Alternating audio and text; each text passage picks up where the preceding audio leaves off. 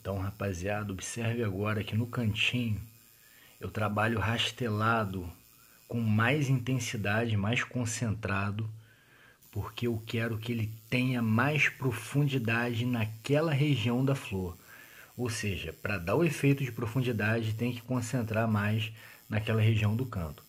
Nas demais partes da pétala, eu vou rastelando afastado, eu não faço toda ela rastelada, mas apenas algumas regiões. Essa flor é um hibisco e ele precisa é, é, transparecer alguns detalhes de, de filetes da, da flor, né?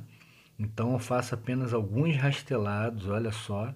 Eu quero que o rastelado ele fique marcado, ou seja, é proposital, para que a gente tenha esse efeito dessa flor em específico. E no cantinho, na parte interna ali, na parte central do miolo, a gente concentra mais o rastelado, às vezes dá até uma solidez de pintura para dar profundidade.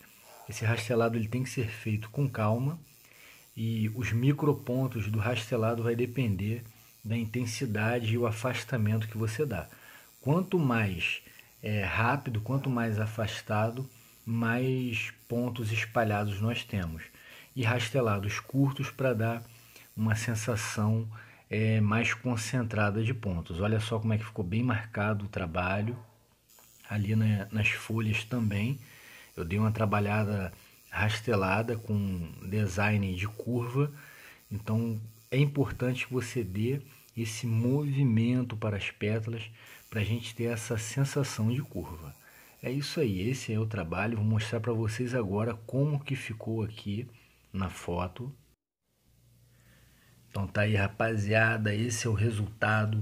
Você que curtiu essa dica de rastelado, não deixe de dar o seu like e se inscrever, que ajuda muito. Ativa o sino, ativa o sininho, porque ele vai te alertar dos meus novos vídeos. Um grande abraço, rapaziada. Até o próximo vídeo.